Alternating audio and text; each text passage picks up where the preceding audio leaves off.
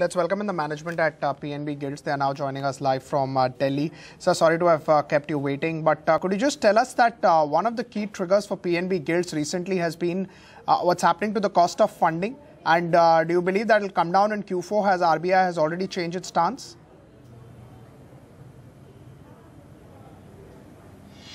Yeah, our cost of fund for the last three quarters has been 6.38 percent. Uh, we have access to call, we have access to labs and other uh, areas. So we keep uh, our cost of fund as low as possible. Right. Uh, in terms of cost of funding, what was it in Q3 and where do you see it in Q4?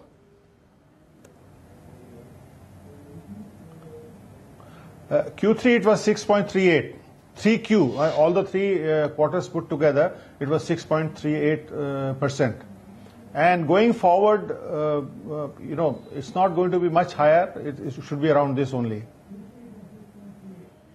Right. It should be around these levels, irrespective of RBI changing the stance.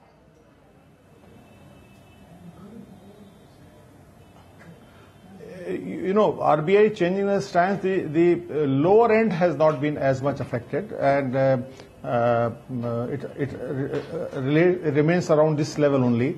Uh, so there is not, not much change, change in the lower end, that is call and all, uh, CBLO and LAF. Uh, I think we will be able to maintain around this with small change, 5, uh, 10 basis point at the most. Could you tell us about your total portfolio size? What is the current size of your book and uh, how much is held till maturity? Held to maturity is, uh, you know, as per RBI uh, position, it's uh, one size of one um, uh, net worth, which is uh, as on 31st of March, it was 731. So uh, our uh, held to maturity is around that level. And Right. Uh, in terms of duration, what uh, fluctuates anything from uh, between 3,500. It's it's currently 3.5. Right. It's currently about 3.5 years. Yes, 3.5 years. Right. Say if the growth rate numbers are good, GST is implemented and things go as per plan, uh, what would be your estimates for uh, 10 year yield? Uh, how do you think the 10 year GSEC yield will move?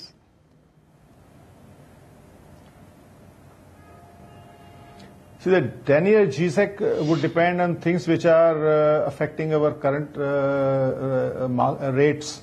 Uh, see, the good thing, uh, the positive about the rate scenario is that there are no more auctions. Uh, the liquidity is uh, 3.5 lakh crore, which is quite good. And the inflow, F- FIN flow has seen a positive trend that in February the, both debt and equity are positive. But the challenges to this is that presently Fed uh, stands, uh, RBI stands from uh, accommodative to neutral. The rates in, in mm, commodities or mm, oil. So keeping that challenge in mind, we have a slightly wider view, uh, wider, uh, I mean anything from 6.775 to 7 percent. Do you think that 7%, uh, if it goes, if, if the yields go over there, uh, there could be a big issue with FIs and the flows? Yeah. Because it has already seen more than 786 uh, currently, and uh, therefore we keep that. Uh, uh, even if it doesn't touch 7, uh, 790, 795 should be there. But uh, uh, yes, there should be, fi- you know, interest would be there, and then uh, in the bond market, if the yields go up, uh, the domestic bond market itself sees some interest in buying. Right. Uh, in terms of uh, FII flows, especially into debt markets, it has been very strong in the last few years. Do you expect it to continue? India is still one of the best placed market for FIIs with currency being where it is.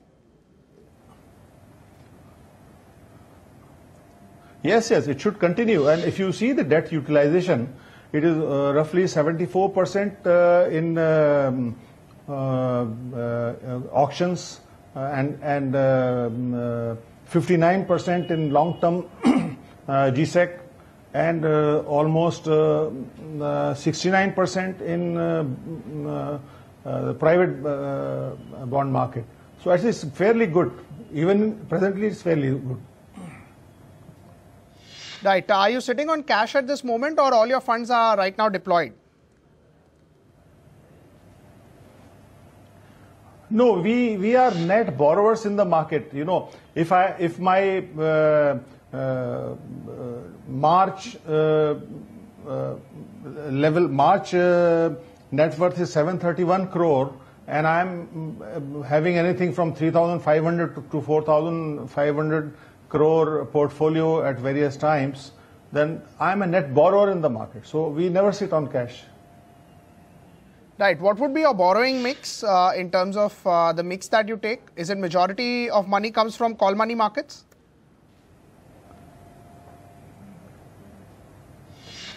Uh, it comes from call money market. It also comes from CBLO, and uh, there are uh, specific supports that uh, RBI provides to uh, primary dealers. So we have those uh, few. Uh, we can also borrow in ICD. So there are various sources, uh, but mainly uh, what I mentioned. Right. As far as Q4 is concerned or Q1 is concerned, with uh, the change in the rates and the outlook for rates, uh, how do you see company maintaining its profitability? Because last two quarters for PNB Gilts has been quite spectacular. Yes. See, we, uh, if you see how the interest rates have moved during the last one year, uh, right, uh, from, uh, you know, 680 uh, on 8th, 8th of November to, uh, you know, uh, it had a rally of 61 basis point uh, during demonetization. Then adverse movement of around 14 basis points when this uh, CRR and uh, uh, stipulation came from RBI 100% CRR. Then there was an, another adverse movement during the two policies, and we are back to 686. So we, we started from 680 and we are back to around the same level now. So during this period, we have made money despite adverse movement. So we have a strategy for all situations, and I think we should be able to maintain. We'll try to maintain this level. I mean, much depends on how uh, intraday movements happens and interday movement of interest rate happens.